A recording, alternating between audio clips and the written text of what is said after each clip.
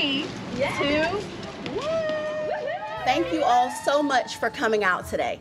We are just so excited about our brand new painted playground. They are really, really excited to be a part, and it really has added so much life and just so much joy to our recess time and to our day. This will keep me energized.